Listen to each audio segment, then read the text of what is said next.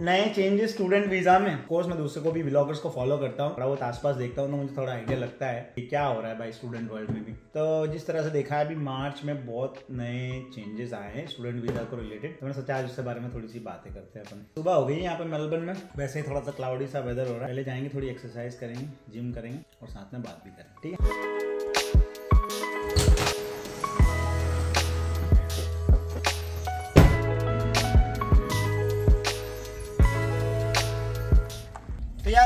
एक एक specific detail में ना जाते हुए अगर मैं उन रूल्स और चेंजेस की बात करूँ तो मेरे हिसाब से they very good good in the sense यार अगर तुम उन स्टूडेंट्स में से हो जिन्होंने कुछ प्लान नहीं किया हुआ बस डेस्परेशन आउट ऑफ़ डेस्परेशन से मतलब कि बस हमको बाहर पढ़ने जाना है ऑस्ट्रेलिया जाना है और बस कोई भी सस्ते से कोर्स में एडमिशन ले लो और जैसे तैसे वहाँ पहुँच जाओ और पैसे बनाने की कोशिश करो तो वो वो अब आपके लिए थोड़ा सा डिफ़िकल्ट हो जाएगा। लेकिन एट द सेम टाइम जो जेनवन स्टूडेंट्स जो जेनवन पढ़ाई करने के लिए आने चाहते थे जो जेनवन ऑस्ट्रेलिया में रहना भी चाहते हैं उनके लिए अभी भी कोई ज़्यादा चेंजेस नहीं हुए इनफैक्ट अब ये हो जाएगा की जो नॉन जेनवन स्टूडेंट्स थे ठीक है ये रूल्स की वजह से अब उनको भी थोड़ा सा अपने आप को कंसिडर करना पड़ेगा कुछ थोड़ा सीरियस होना पड़ेगा थोड़ा अपने लिए एक, एक अच्छा सा प्लान वेल स्ट्रक्चर प्लान बनाना पड़ेगा। अभी तक क्या होता था ना स्टूडेंट्स को इंडिया में पता ही नहीं होता था क्या करना है। बस हाँ ऑस्ट्रेलिया जाना है। हाँ भैया क्या होता है, कौन सा कोर्स होता है, नहीं पता। बट जस्ट हाँ एजेंट ने बोल दिया, ये कोर्स कर लो, वो कोर्स ले लेंगे, ठीक है? हमको क्या करना है, हमको कुछ आइडिया नहीं हमारा मतलब हमको फ्यूचर में क्या बनना है, हमारा किस चीज़ में इंटरेस्ट है। ठीक है, हमको ऑस्ट्रेलिया में जाके पीआर लेना है, नहीं लेना। अब ऑस्ट्रेलियन गवर्नमेंट इन रूल्स के हिसाब से मुझे लगता है कि वो खुद ही बोल रही भाई। तुम आओ यहाँ, पढ़ो, हमारी कंट्री को कॉन्ट्रीब्यूट करो।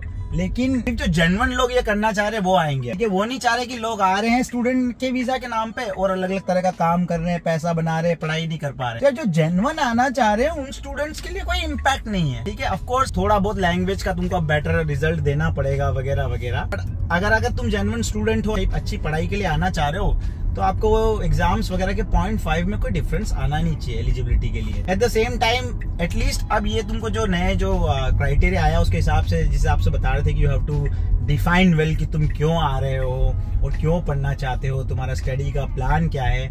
तो इससे अच्छी ये चीज़ होगी मेरे हिसाब से कि एटलीस्ट अब स्टूडेंट को थोड़ा फोकस करना पड़ेगा. हाँ तो अच्छी चीज़ ये होगी कि स्टूडेंट को अब एटलीस्ट थोड़ा फोकस करना पड़ेगा, थोड़ा प्लान करना पड़ेगा. जो अभी तक वो करते नहीं तो इन रूल्स के कारण एटलीस्ट वो अपना थोड़ा बेटर कैरियर बनाने में फोकस करेंगे। पहुँच गए जिम अपन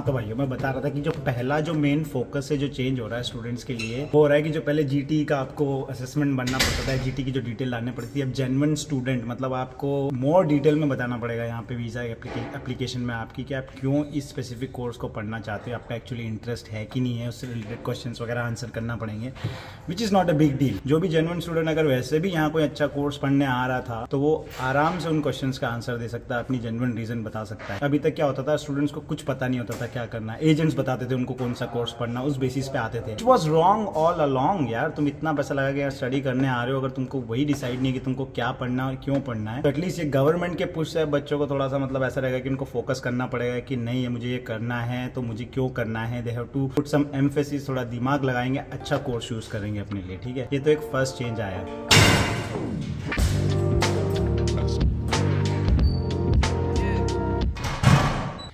दूसरा चेंज आया दोस्तों रिलेटेड टू आपकी जो इंग्लिश की जो आइल्स एग्ज़ाम देना पड़ती थी। पहले जो आप सिक्स बैंड या फाइव पॉइंट फाइव बैंड में काम हो जाता था, उसको उन्होंने पॉइंट फाइव पॉइंट फाइव बढ़ा दिया। मेरे पर्सनल एक्सपीरियंस में तो मेरे को नहीं लगता है कि ये बहुत बड़ा मैसिव कोई डिफरेंस है, क्योंकि अगर कोई जेनवन स्टूडेंट है जेनवनली पढ़ाई करना चाह रहा है तो इंग्लिश लैंग्वेज की भी आपकी अंडरस्टैंडिंग अच्छी होनी चाहिए। अगर कोई डिफ़िकल्ट कोर्स पढ़ने आए हो तो you have to be better at lecture समझ में आना चाहिए ट्यूटर समझ में आना चाहिए। अगर आपको समझ नहीं आ रहा, आप स्टूडेंट आ गए यहाँ पे as an course eventually fail ऐसा कुछ नहीं कि गवर्नमेंट ने स्पेशल तुमको ना आने के लिए ऐसा रिक्वायरमेंट लगाई है। रिक्वायरमेंट इसीलिए लगाई है कि तुम आओ जनरली पढ़ पाओ और अच्छे मार्क्स से पास हो।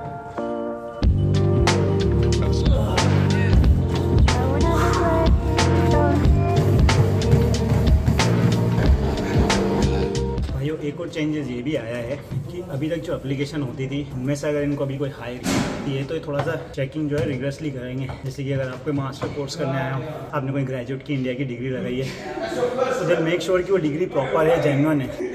एट द सेम टाइम अगर आप कुछ फाइनेंशियल भी प्रोवाइड्स कर रहे हो तो might dig deep in to to find out कि भाई तुम्हारा financial actually genuine and valid है कि नहीं है। ये सारी चीज़ों का रीज़न भाई ये है कि जो मुझे लगता है पर्सनली पहले जो एजेंट ने सारे धोखे से, जो सारे स्टूडेंट्स को भेजते थे ना जिनका फाइनेंशियल भी नहीं है फेक दिखा के, जिनका स्टडी का इंटेंशन भी नहीं है, जिनको सिर्फ़ काम करना, पैसा करना है, उन लोगों के लिए सबसे ज़्यादा दिक्कत लेकिन कोई जेनवन स्टूडेंट हमेशा से जो पढ़ना आना चाह रहा था, उसके लिए फिर भी प्रॉपर अपॉर्चुनिटी मुझे लगता है। और इन रूल्स की वजह से वो थोड़ा बेटर प्रिपेयर करेगा। इलेवन ट्वेल्थ से ही सोचने लगेगा अपने करियर प्लान के लिए। रादर देन की एकदम लास्ट वीक में ट्वेल्थ के बाद कुछ नहीं तो बोला ऑस्ट्रेलिया चलो। प्लान ही नहीं किया। स्टडी का मन मतलब पता नहीं है कुछ करना है कि एटलीस्ट ये रूल्स होने की वजह से अब थोड़ा सा स्टूडेंट बेटर और सीरियसली प्लान करेंगे। भाइयों, आज का तो हो गया वर्कआउट फिनिश आओ जाओ, आपको जिम भी दिखाता हूँ बाहर से जरा।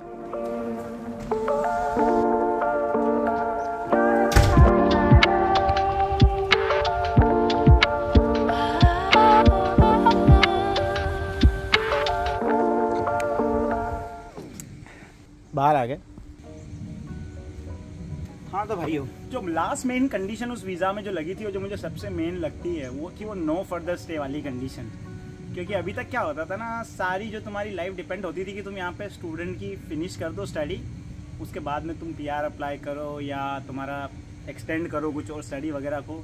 लेकिन जो नो फर्दर कंडीशन है, बड़ी बेकार होती है। नो फर्दर स्टे कंडीशन में यूजुअली क्या होता है कि तुम्हारा वीज़ा ख़त्म होने के बाद में यू कैन नॉट स्टे दूसरा वीज़ा वगैरह अप्लाई नहीं कर सकते हो तुमको वापस बाहर जाना रहेगा। यूजुअली ये नो फर्दर कंडीशन जो है विजिटर वीज़ा वगैरह पे लगाई जाती थी, जो विजिटर आते थे, ताकि ऐसा नहीं कि तुम विजिटर वीज़ा पे आओ, फिर कोई भी दूसरा वीज़ा लगाओ और एक्सटेंड अब इन्होंने जेनवन स्टूडेंट्स के लिए मतलब जो, जिनको, जो स्टूडेंट्स का वीज़ा इनको लगेगा कि इन जेनवन है, उनके लिए नो फर्दर स्टडी कंडीशन लगा दें। अगर तुम ऐसा कोई कोर्स पढ़ने जा रहे हो, जिससे कि ऑस्ट्रेलिया में आके कोई स्किल आपकी बढ़ नहीं रही है, या ऐसा कोई कोर्स पढ़ने जा रहे हो, जो आपकी कंट्री में भी कोर्स है, दूसरी कंट्रीज़ में भी कोर्स है मतलब कोई स्पेसिफिक पर्पज के लिए नहीं आ रहे हो तो वो वैसी कंडीशन लगा सकते हैं आपके स्टूडेंट वीज़ा पे। मैं आपको थोड़ी सी समरी देता हूँ। मैं मेरे को जो लगता है पर्सनल परस्पेक्टिव से। एक एक वीज़ा के रूल की डिटेल में मैं जाऊँगा नहीं। बहुत सारे लोग हैं जिन्होंने इस चीज़ों पे वीलॉग बनाए होंगे और बहुत सारी वेबसाइट्स भी जहाँ पे आपको इन्फॉर्मेशन मिल लेकिन मुझे लगता है कि ऑस्ट्रेलिया ने कोई स्टूडेंट्स आने के लिए बंद नहीं किया है कि लाइक नाउ स्टूडेंट्स के नॉट कम हियर या हम स्टूडेंट्स को नहीं बुला रहे they are just making sure कि अब जो स्टूडेंट्स आ रहे हैं, वो जेनवन ही आ रहे हैं जेनवन पर्पज से ही आ रहे हैं। अभी तक क्या हुआ था? मेरे ख्याल से पिछले साल भी काफ़ी सारे ऐसे केसेस आए थे कि एजेंट्स ने फ्रॉड केसेस करके भेजा था, बच्चों को भेजा था। उससे क्या यार कंट्री का ऑफकोर्स पूरा जो बैलेंस है, वो बिगड़ता है। जो जेनवन रीजन से जो स्टूडेंट आने चाह रहे जो स्किल्स उनको कंट्री में चाहिए, वो आ नहीं पा रही जिनके फाइनेंशियल अप्रूव नहीं थे, उनको भेज दिया जा रहा था। जिनको कोर्स का कुछ पता नहीं, उनको भेज दिया जा रहा था। एकदम टेम्प्रेरी कोर्स के लिए भेज दिया एक साल के लिए, उसके बाद में उनका कोई प्लान नहीं है कुछ करने का। बाकी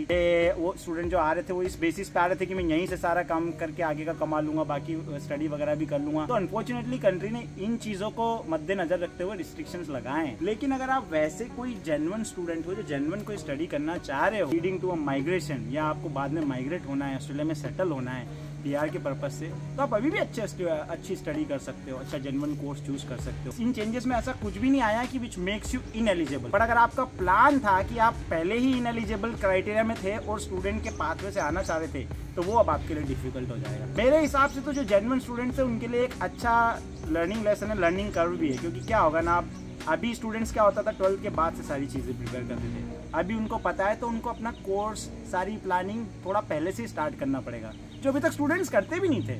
ट्वेल्थ के बाद जैसे मैं कौन सा कोर्स चूज़ करूँ? यार, हम थोड़ी बता सकते हैं आपको कौन सा चूज़ कोर्स चूज़ करना है। आपको अपना करियर बनाना है। आपको अपना करियर बनाना है। आपको आपके हिसाब से कोर्स को चूज़ करना पड़ेगा, ठीक है?